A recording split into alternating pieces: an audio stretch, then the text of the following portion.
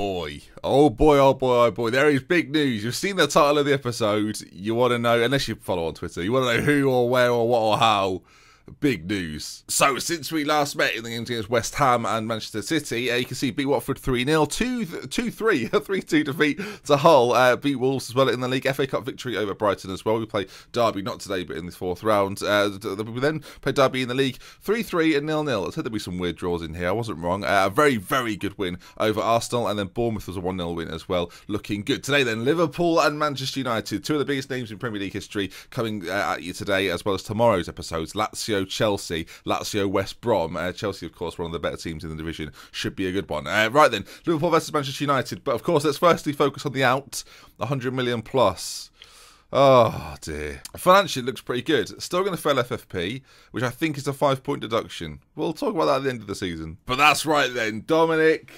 Haludum. I've said his name wrong pretty much the entire time, so that's why he's had to leave. But no, there, there was a release fee in his contract, and uh, PSG met it. 104 million. Didn't even put a bid in before that. Just went straight in there with the uh, with the, with big time 104 million pound bid, and off he goes. Then 100 million pound profit. I'll take it, but it's sad to lose what is, in my opinion, one of the better players we've ever had at the save, and the fact he won't be here at the end is a little bit sad for me. But you can see he's, he's moved on. 22 years of age. I I'm genuinely a little bit shell shocked that he went so quickly for so much money and I have no on it. Two assists already to his name, so he's doing all right. But that meant then we had the resources to bring in a replacement, and we had to bring in a replacement. I wanted to bring in a midfielder anyway, so the fact he left meant I could bring in a couple. Uh, one returning face, which I'm pleased about. But we'll see here then. Paulo Alves, a name that I can say very well. Portuguese international, uh, physically, mentally, and technically very, very good indeed. I think we've got ourselves quite the player on our hands. Uh, I, th- I, think he's just he's good in all areas. I, I, like him a lot. He's not particularly fancy or flary or whatnot. Uh, very good vision, but flair, like I say, not, not one of his high points um, but he's world class, as it says there. And for £34 million, I don't think that's too bad at all. Hopefully, he settles in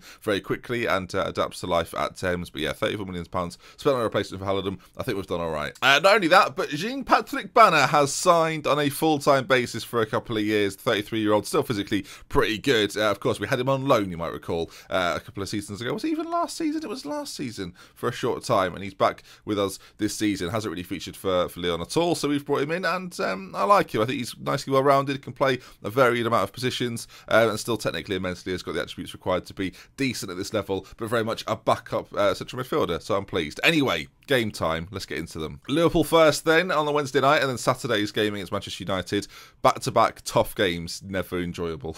But after a recent win against Arsenal, relatively confident. Uh, team selection wise, then Furtado's going to have to step out for this one. Uh, Antonio's going to come in at right back, and the rest of the team uh, lineup is kind of unfamiliar. We've changed things around a little bit in recent games, and you seem to have won the last two, so I'm going to stick with it. Uh, I've dropped both Ferreira and Herzog, and Dorfer, of all people, Thorben Dorfer has come in. He's doing a lovely job, his Thor. Uh, with Calvo in goal, then Antonio, Giovanni, Eriksen, and Diallo at the back. We've got Alves and Jimenez in the centre now. Uh, just new to say that to you. It's weird. Mackay one side, Mikulinho the other, Dorfer behind Ben Hur. Uh, we've still got a couple of injuries. Obrinek, Obrinek whatever his name is these days, uh, is still out injured. Furtado, of course, you've seen, has picked up that knock, and Will be unavailable. Um, right then, let's see how we do. I'm actually going to put Banner on the bench for Herzog and uh, game time. We've moved to standard flexible as well. We were attacking fluid for a long time. Um, I've now come away from that because I feel, feel like it was hurting us. Number four was Halidum's number. I'm not going to give it to Banner. I'll give him 28. Am I retiring the number four shirt? No, but I, I feel uneasy. Okay, then they're playing a four-three-three system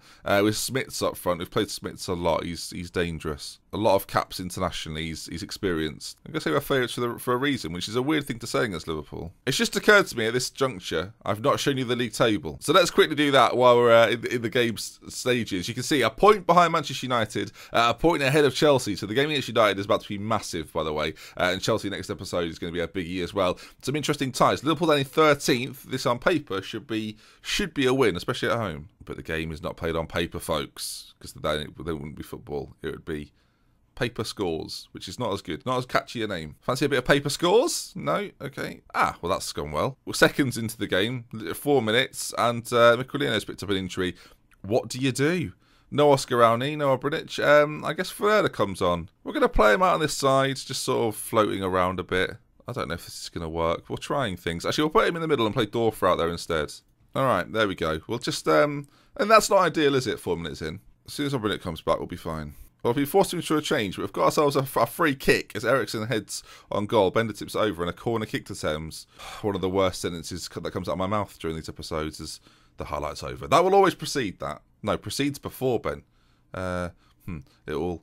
I just decided to stop talking and hoping it would all go away. All right, then. First time you're going to see Alves in action. We'll see if he features too much. He's number 15, so keep an eye out for him uh, as we continue this. Then, as Antonio combines with the midfield, finds it up to Ben Hur, who I've taken off complete forward. He's now an advanced forward and Looking good. Bloody hell. Bloody hell. A hundred million pound sale. Uh, I should clarify because it was a release clause. The board just went, yeah, that's that's done then, and I sort of went, is it? And they went, yeah, it is. So I went, ah, good. And that was the conversation. As the ball's played in, Eriksen goes close from that corner as we get to half time at nil nil. Things are very even across the board here. Chelsea and United are playing each other. I had no idea. City are, are battering Hull as well. Uh, so one of those teams is going to lose out. We've had 15 shots there, six on target. They've had two, none on target, and 38% possession, and it's nil nil. I'm going to change nothing. Why would I change anything? I'm going to get aggressive though. Far from pleased. I want to see a goal. They all look fired up and motivated, so let's have it. A very convincing first half performance. You've got to assume Liverpool will be better in the second half, but so far so good. Almost an hour played here, and as the, as the scores remain, at nil nil, you've got to start thinking about a couple of changes. Do you bring on someone like uh, Fiore at some point? As Liverpool, Liverpool take the lead. Good, done nothing all game pretty much. Have been pretty ineffective, and um, well, well, conceded at the front post from a corner. Definitely won't get a comment about that. Referee, that's a foul, mate. Get him off. Winters, he's already injured. He's gone. They're down to 10. Right, party time. We're going attacking. Manchester City are winning 7 0 elsewhere, so they're, do- they're doing wonders for the goal difference. As we now drop to fourth, oh, for heaven's sake. Ben Hur is having one of those games where he decides not to really take part, as uh, him and this is going to be replaced by Banner. I'm actually going to put Dorfer out here. He doesn't really like it, but I think we need to have a little bit more balance out on that side. It's not like we've not created, though, is it? As the time ticks away, 1 0 defeat solid. The ball's launched forward, unless it happens right now, which is looking unlikely. That's going to be game over. And there you are then. Thames nil, Liverpool one. Terrific. He's got he scored four minutes later, got sent off, and well, am I unlucky? I've just got to be honest, viewers. I feel like in the last few episodes, I've been rather unfortunate. We dropped down to fourth position, and if we lose to United, then well, all hell's breaking loose. United won their game as well, so they could potentially have gone up to third because United won actually. Uh, we know if we lose though, seven points is going to be the gap, and well, that is a bit worrying with just over 10 games to go or so. There'll be, what, there'll be what, 13, 12 left after this game? Oh dear, 13 games left, something like that. And Miquelino's out for four to seven weeks, so we'll leave him to the physio. I don't know when Obranic is back, actually. We'll let our assistant do that, that press conference very quickly. Uh, let's see, how when's he, when's he actually back? Will he be available? Six days, so so no, he won't. Uh, Herzog or Rowney will have to come in then and do satin. All right, let's get the boys rested, and I'll see you in a few days for Manchester United. Not easy. Right, just doing some registration. Uh, everyone's able to play. I wasn't 100% sure actually if Paulo Alves could play, but he can. Right then, Manchester United, and uh, a little bit of a conundrum is, is, is facing us. What do we do? I think I'm tempted actually to play Ferreira out on the left hand side because he can do it as like some, some sort of inside forward, and then um, we make the move and bring Mackay across the other side. We'll do that. So Mackay's going to play as an inside forward on either side, which is something we've not really tried. So let's try it now against Man United. We need to win. Yeah. There's a temptation. Oh, can I drop Mackay? I can't really, can I? Form-wise, he's been pretty ineffective. I'm gonna try. I'm gonna be bold. What I'm actually gonna do is bring Herzog in, and you can see what's occurring. So Herzog's left foot, so he's gonna play on that side, and then we're gonna play attacking both of them? I mean, that would be very bold. I mean, we'll give it a go to begin with, and we might have to sort of set them back a little bit. Um, I'm also going to bring Furtado back in for Antonio at the back, and Mackay should definitely go on the bench in case all of this fails. All right, then. Here we go. What can possibly go wrong? We're actually away as well, so I'm going to start on the counter attack at Old Trafford. We're going to try this out. I really shouldn't start trialing things at this point in this. Okay, 4-4-2. Let's see how we do. I'm I'm not. They've won four of their last five matches. Um, I'm I don't know how to feel about this really. I guess I've got nothing to lose here. I'm going to make it seem like, look, just go out there and do the job. I've got faith in you. Go out, go out and make a difference. You know, whatever. They love it. Right, boys. Here we go then. Party time. It's Manchester United versus Thames. Now, if we lose, this season is very upsetting as They've got an early throw in three minutes in. Here we go then as uh, they're, they're, applying some early pressure. As it's, it's just been knocked around like pinball. They've finally got it under a bit of control as they bring it out to this left hand side. Ball played forward. Viola ball to the back post and over and a big chance missed. That goes down as a clear cut, clear cut opportunity and I would agree with that. Very much so agree. injury the, at the back for United. That's probably good news as they've had to make a change. I mean, forcing them into a change is a good thing. I don't think. I'm thinking now, if, if they offered me a draw away at Old Trafford, would I take it right now? I'm not sure I would. The win is so important that I can't not think about that really. Uh, the other problem is in all of this is that City are becoming good as Dorf has gone gone for goal. That's the first highlight we've seen, viewers. It's nice to know that we are involved. Ben Hur on a 6.4. What do we do with you? I couldn't give you more support if I tried. Maybe that's the problem. Right, let's make him a poacher. Let's just put him on the end of things. You don't have to do too much, mate. Just poach. Uh, we're also going to go to the standard mentality aside from counter now, so we can change it if we can go. If we want to now go to attacking, it's not a big change from counter to attacking. We're just sort of moving forward. We're in the game. We've got a chance. We've got to try and win as well. Why not? A draw isn't that much different from a loss for us, really. I'm happy with the performance so far. Keep it up. I am happy. That is that is correct. And late in the game as well, the idea that we can bring on Mackay to sort of punish this uh, this right back then that's good. They look nervous, United. We look rel relatively composed, although Herzog looks complacent, which is not good. Their one player who looks motivated has been taken off as well, so that's positive. Do you know what? I'm feeling good about this. We're going to go for it. Away at Old Trafford, we're going to start attacking. All right, 20 minutes to go. I think it's that point now where we need to actually think about making a change. So uh, Herzog's going to step out. We're going to bring Mackay over to this side and go with this inside forward situation we were going to do originally, and uh, we'll just see. I'm conscious of the fact there's highlights going on in the background, and it makes me nervous. Ben has gone on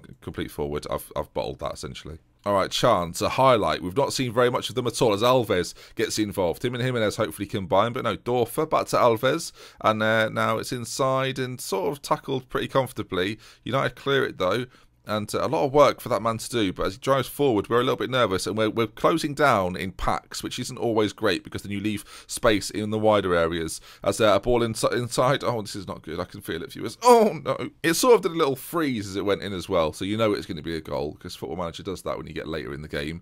United take a one 0 lead, and that's not good. this is this. It's not. It's not good. It's a disaster, is what it is. I've gone for. I've tried to be bold, and we've been punished. I mean, what do you even do? Bring Banner on, maybe. Bring Fiore on. I mean, you're hoping for a miracle here. And there's no miracle. Back to back 1 0 defeats. How underwhelming. In a game which is very even, United have had one big chance and scored it. You've got to suspect that's probably going to be game over as far as the officials are concerned. And, well, Dorfer's already given up. A shame, a real shame. And you might wonder why we've dropped Ferreira there and played Dorfer in the centre. He just he had a couple of decent performances, so I kept him in there. Things you don't always see. Um, Wow. Well, that's killed everything. I certainly say, unlucky boys, wasn't to be. I'm not trying to kill morale before we get to the end of the year. Well, what we've seen, though, and this is the only positive I can take, is that the teams at the top have always faltered. Chelsea, uh, especially, fell off a little bit. City are coming on stronger now, though, and I think we actually do drop to fourth as United get ever stronger. Seven points is the gap. The end of the season doesn't look as if it's going to be a title win. Fourth. Oh boy. All right, the next time we meet, Lazio and Chelsea will be the game. That first uh, first leg, along with that Chelsea game, of course, another big game for us uh, in between that Derby and Blackburn to play. So that's going to be fun for me, and uh, I'll see you for it tomorrow. That looks terrible. With love, with care. For minutes, which is the next time. Just looking at the match stats of the Liverpool game again. Feel like we should have won. Well, not just won it, destroyed them.